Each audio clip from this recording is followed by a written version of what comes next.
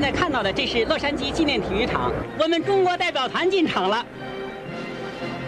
The very first gold medal of the 1984 Los Angeles Olympics was won by marksman Xu Haifeng.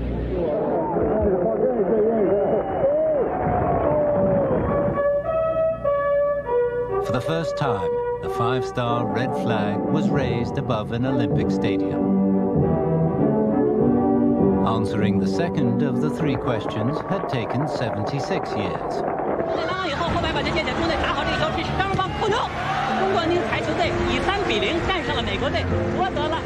In the course of the next 16 years, in the five Summer Olympics from Los Angeles in 1984 to Sydney in 2000, China won a total of 223 medals, including 80 gold.